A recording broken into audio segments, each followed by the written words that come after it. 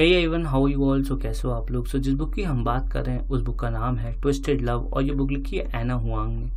सो so, video शुरू करने से पहले एक छोटा सा रिमाइंडर बहुत सारे ऐसे लोग हैं जो वीडियो देखते तो हैं बट चैनल को सब्सक्राइब नहीं करते।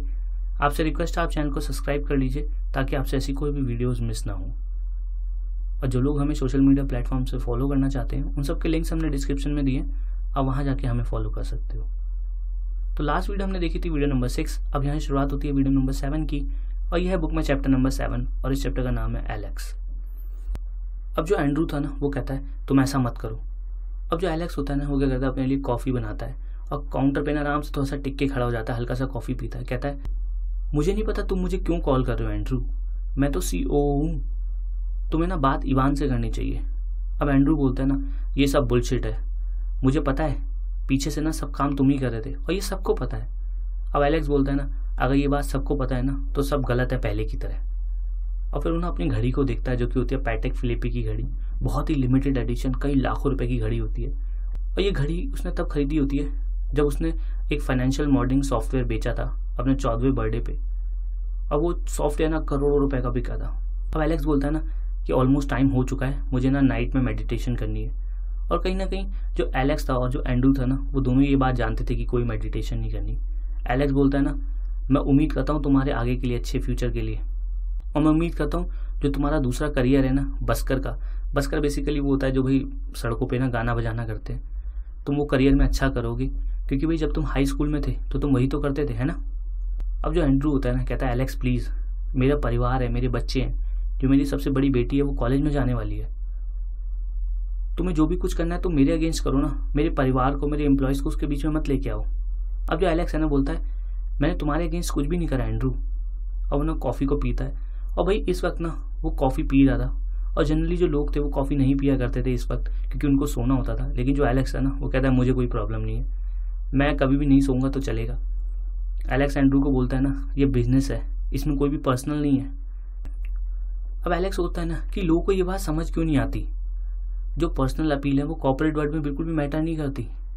या तो तुम दूसरों को खाओ, या फिर दूसरे तुम्हें खा जाएँगे। और मैं यहाँ पे ऐसा नहीं हूँ कि कोई मुझे खाए। क्योंकि भाई यहाँ पे जो सबसे ज़्यादा स्ट्रॉन्गेस्ट है ना, वही सर्वाइव करेगा। और मैं ना बिल्कुल फ़ूड चेन में सबसे टॉप पे रहना चाहता हूँ। अब जो एंड्रू होता है ना, कहता है एलेक्स अब ना जो एलेक्स था, वो ये बातें सुन के पक गया था। एलेक्स ये एलेक्स वो।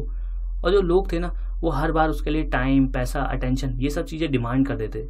लेकिन उसके पास ना एलेक्स के पास बिल्कुल भी टाइम नहीं था। एलेक्स बोलता है ना गुड नाइट और ये कहते ही ना फ़ोन कट कर देता है। और वो सोचता है ना कि भाई ये भीख मांग रहा है, कुछ भी करे, मेरी बला से मुझे कोई फ़र्क नहीं पड़ता। अब एलेक्स सोचता है ना कि भाई इससे बुरा कुछ भी नहीं हो सकता कि एक सीईओ कंपनी का वो भिखारी बन जाए। क्योंकि भाई जो ग्रुपमैन इंटरप्राइजेस थी, उसका टेक ओवर हो चुका था। एलेक्स की कंपनी ने उस कंपनी को खरीद लिया था। और ग्रुपमैन इंटरप्राइजेस ने एक छोटा सा प्यादा था उसके लिए। उसको इसको निपटाना था ताकि भाई जो बड़े बड़े प्लेयर्स हैं मार्केट में, वो उनको जाके कैप्चर कर सके। जो आचा ग्रुप है ना वो अभी रियल इस्टेट में डील करता है और आने वाले पाँच, दस, पंद्रह, बीस सालों में ना वो लोग हर चीज़ में होंगे। Telecommunications e commerce finance energy सब चीज़ों में। और जो ग्रुपमैन था ना वो एक छोटी सी फाइनेंस इंडस्ट्री में था वो। लेकिन भाई, वो एक बहुत अच्छा नील का पत्थर साबित होगा जब आगे चल के लोग बिज़नेस एक्सपेंड करेंगे तो। और इसके अलावा जो एंड्रू था ना, वो एक नंबर का गांडू आदमी है। उसने ना कई बार कोर्ट के बाहर सेटलमेंट करा था। जो उसकी सेक्रेटरीज थी सेक्सुअल असॉल्ट के केस लगे थे सेक्सुअल हरेसमेंट के, उसने भारी वो सेटल करे थे। अब एलेक्स क्या करता है ना एंड्रू का नंबर ब्लॉक करता है। जो एलेक्स था ना, वो ये डिसाइड कर लेता है कि कल सुबह मुझे जाके अपने असिस्टेंट को ना फायर करना है, नौकरी से निकालना है। क्योंकि भाई, जो मेरा फ़ोन नंबर है, वो बहुत ही चुनिंदा लोगों के पास होता है। और ये चीज़ ना उसको समझ नहीं आती।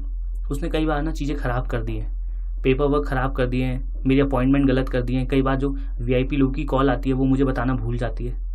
और मैंने ना उसको बहुत ही मजबूरी में रखा था, क्योंकि जो उसके पापा हैं, और वो ना बहुत बड़े नेता हैं, उन्होंने मुझसे रिक्वेस्ट करी थी कि मेरी बेटी को रख लो, ताकि कोई रियल वर्क एक्सपीरियंस हो जाए। लेकिन कल सुबह आठ बजे मैं उसको निकाल दूँगा, और मैं उसके बाप से बाद में डील कर लूँगा। अब जो एलेक्स होता है ना, वो क्या करता है, जो कॉफ़ी उसका कॉफ़ी कप होता है, वो आराम से सिंक में रख देता है। उसके पूरे घर में ना शांति होती है, वो आराम से काउच पे जाके बैठ जाता है। और भाई जो उसकी मेंटल थेरेपी होती है ना, जो वो चीज़ों को सोच लेता था बहुत अच्छे से वो सोचना स्टार्ट करता है। अब बात उसको याद आती है उनतीस अक्टूबर 2006 की। उसका पहला बर्थडे था ना, जब वो अनाथ हो गया था।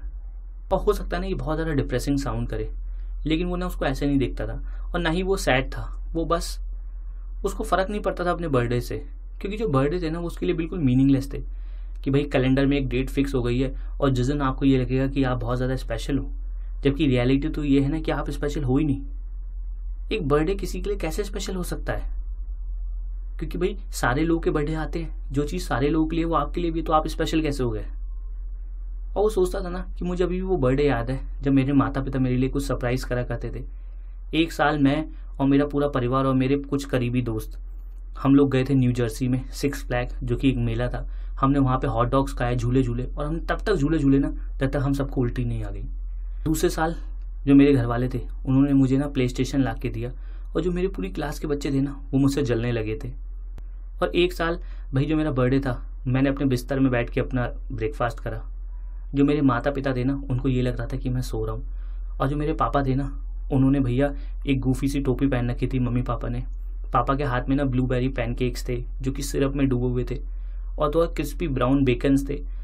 और जो मम्मी थी ना, वो केक लेके आई और कस के ना मुझे चिल्लाने लगे हैप्पी बर्थडे मैं बहुत हंसा और ना मैं उठ के बैठ गया। वो एकमात्र साल का ऐसा दिन होता था ना, जब मैं अपने बेड में बैठ के ब्रेकफास्ट कर सकता था। फिर जब मेरी बहन, छोटी बहन चलने लगी, उसके बाद उसने भी उसको ज्वाइन करना शुरू कर दिया। वो क्या होता था, जब उसका बर्थडे होता था ना, उसके ऊपर चढ़ जाती थी, उसके बालों के साथ खेलती थी।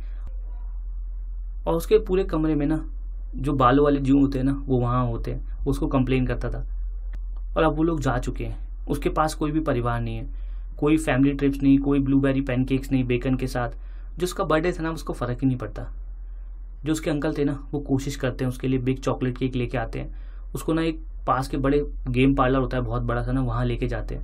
वो लोग टेबल पे बैठे होते हैं डाइनिंग एरिया में। और जो एलेक्स था ना, वो कुछ सोच रहा था, कुछ एनालाइज कर रहा था, कुछ याद कर रहा था। उसने ना कोई भी गेम को छुआ भी नहीं था यहाँ पे आके।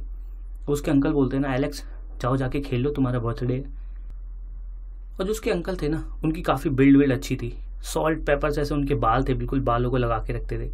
और जो उनकी आँखें थी ना, वो ब्राउन कलर की थी, बिल्कुल उसके पापा की तरह। वो इतने हैंडसम नहीं थे, लेकिन ना हमेशा अपने कपड़ों को अच्छे बन ठन के रहते थे। और आज ना उन्होंने ऐसे कपड़े पहने थे कि वो बिल्कुल बच्चों की तरह ही लग रहे थे। जो एलेक्स था ना, उसने अपने अंकल इवान को कई सालों से देखा नहीं था। जब वो सात साल का था ना, उसके पापा और उसके अंकल के बीच में बनती नहीं थी। और उसके बाद ना उसके अंकल बात ही नहीं करते थे। उन लोगों के थोड़े रिश्ते टूट गए थे। लेकिन उस दिन उन लोगों ने बात करी और जो उसके अंकल थे ना ईवान उन्होंने ये डिसाइड करा कि भाई, इसको ना मैं अनाथालय में नहीं भेजूँगा, ना ये फॉस्टर होम में रहेगा, इसको मैं पाल पोस के बड़ा करूँगा। अब जो एलेक्स होता है ना, कहता है, मुझे नहीं खेलना।